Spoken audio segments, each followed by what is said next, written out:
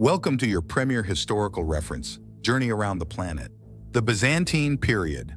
After the Roman Empire split in the 3rd century CE, Gaza fell under the control of the Eastern Roman Empire, which later became known as the Byzantine Empire.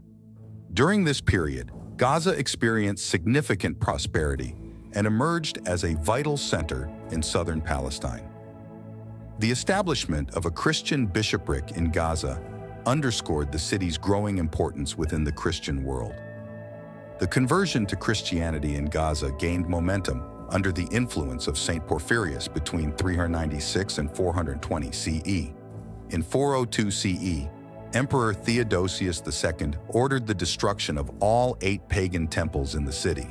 Subsequently, Empress Aelia Eudocia commissioned the construction of a church on the ruins of the Temple of Marnus, symbolizing the Christianization of the city. Notably, the Christian philosopher Aeneas of Gaza referred to his hometown as the Athens of Asia during this period. Archaeological excavations have revealed the existence of a large synagogue in Gaza dating back to the 6th century, the early Islamic period. Around 638 C, Gaza was conquered by Arab Muslim forces led by Amr ibn al-As, following the Battle of Ajnadain between the Byzantine Empire and the Rashidun Caliphate in central Palestine. Despite resistance from the Byzantine garrison, the city was captured by Amr's forces after approximately three years. Gaza, believed to be the burial site of Muhammad's great-grandfather Hashim ibn Abd Manaf, was spared from destruction, and its inhabitants were not harmed. The arrival of Muslim Arabs heralded significant changes in Gaza. Initially, some churches were repurposed as mosques, including what is now known as the Great Mosque of Gaza, the city's oldest mosque. This mosque was later rebuilt and endowed with a vast manuscript library by Sultan Baybars in the 13th century. The rapid adoption of Islam by a large segment of the population led to Arabic becoming the official language. Notable figures such as Muhammad ibn Idris ash Shafi'i, the founder of the Shafi'i school of law, were born and raised in Gaza during this period. The maintenance of security under early Muslim rule was crucial to Gaza's continued prosperity. Despite the Islamic prohibition of alcohol, the Jewish and Christian communities were permitted to produce wine, with grapes being a major export to Egypt. However, Gaza's proximity to the desert made it vulnerable to attacks from nomadic groups. In 796 CE, the city was destroyed during a civil war between Arab tribes. Nevertheless, by the 10th century, Gaza had been rebuilt under Abbasid rule. The Jerusalemite geographer al-Muqaddasi described Gaza as a significant town on the route to Egypt, bordering the desert. In 978 CE, the Fatimids reached an agreement with the Turk ruler of Damascus, Alp-Takin, dividing control over Gaza and its surrounding regions. The Crusader and Ayyubid periods. The Crusader seized Gaza in 1100 CE and King Baldwin Yaolai constructed a castle for the Knights Templar in 149.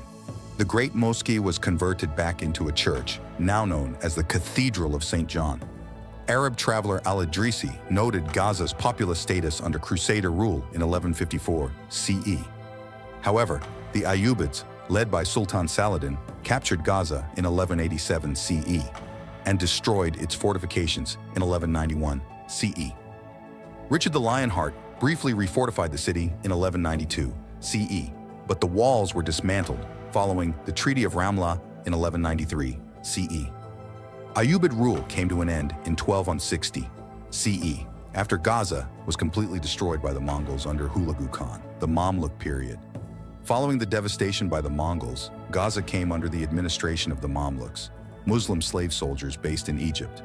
In 1277 CE, Gaza became the capital of a Mamluk province, extending from Rafah in the south to just north of Caesarea along the coastal plain and eastward to the Samarian highlands and Hebron hills. Under Mamluk rule, Gaza served as a strategic outpost in offensives against the Crusaders. Despite facing challenges such as earthquakes and Mongol invasions, Gaza experienced periods of prosperity and growth under the Mamluks. Emir Sanjar al-Jawli oversaw significant architectural developments in Gaza during his reign between 1311 and 1320 CE. The Mamluks also facilitated the return of the Jewish community to Gaza, fostering a period of prosperity for the city. By the late Mamluk period, Gaza's Jewish population was among the largest in Palestine. Like, subscribe, and share this video to support our channel and explore more fascinating historical content. Join our community of history enthusiasts and stay updated on our latest uploads.